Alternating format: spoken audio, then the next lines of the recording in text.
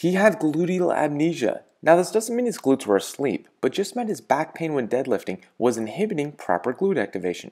You see, during a single leg bridge test, he only felt his hamstrings working hard, not his glutes, and he felt back pain. So I had him perform a double leg bridge to help fix, pushing his hands into a box first to help stiffen the core, and then I cued him to squeeze his glutes hard, then pick the hips up and squeeze as hard as he could for 5 seconds. He only felt his glutes working hard now and no back pain.